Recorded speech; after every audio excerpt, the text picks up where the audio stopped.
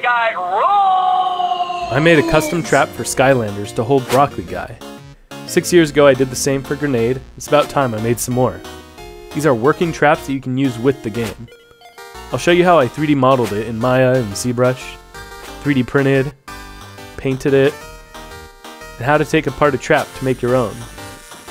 I even put all the files online for free so you can do it too.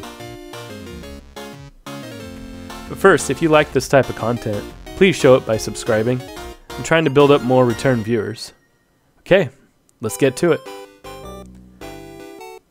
I built the base model in Maya. I like to build out basic shapes that I can later sculpt in ZBrush.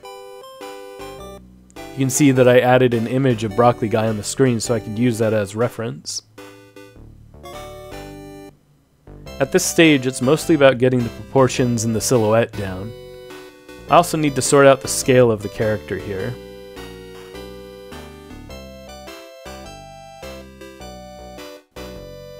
I'm doing a lot of layering of different objects to get this kind of leaf skirt thing going.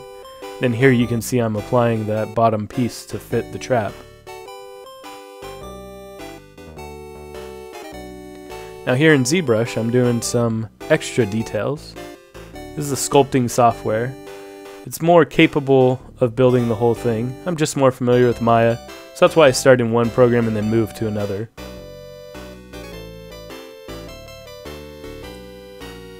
I exaggerate all the details in my 3D prints because at this scale, small details can get lost in the final product.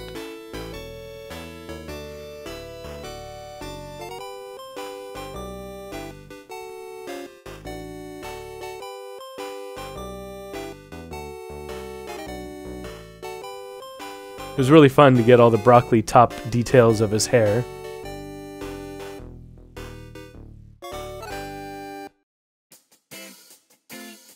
Next I sliced the model in Chitubox to print on my Elegoo Saturn. This is a resin printer, and it requires cleaning and curing afterward. It gives great detail, but can be a bit of a mess.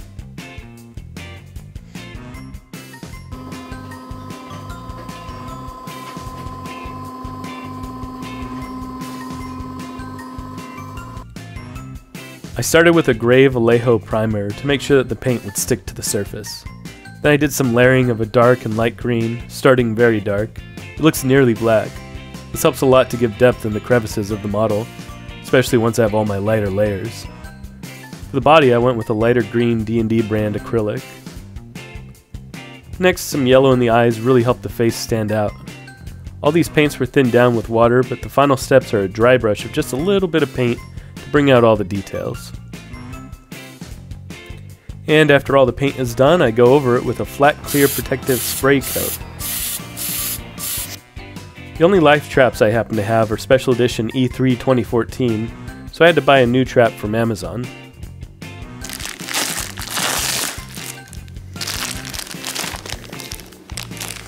I'm going to use my Dremel with this cutting attachment I'm wearing my safety goggles. I always wear my safety goggles with this because this can fly apart into many pieces.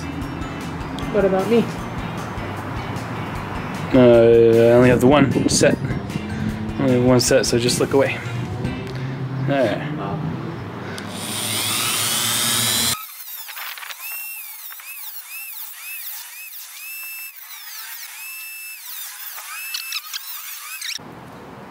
All right.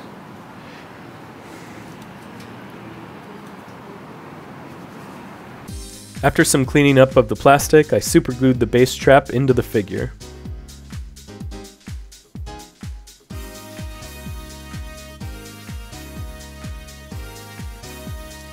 Then it was time to test it in the game. First I wanted to see if anyone had already caught a villain in the trap.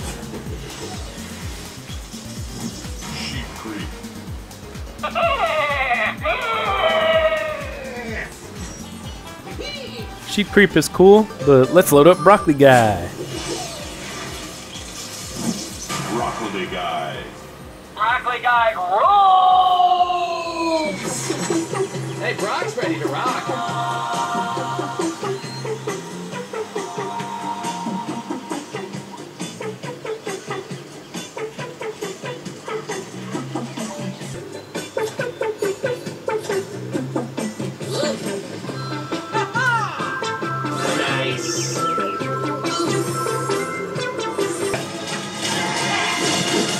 Fight Broccoli Guy with Broccoli Guy.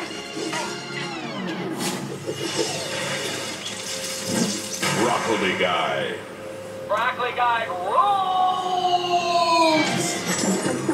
Yeah. Broccoli versus broccoli. I'm glad I finally got around to making another trap. Let me know if I should make more. And thanks for watching.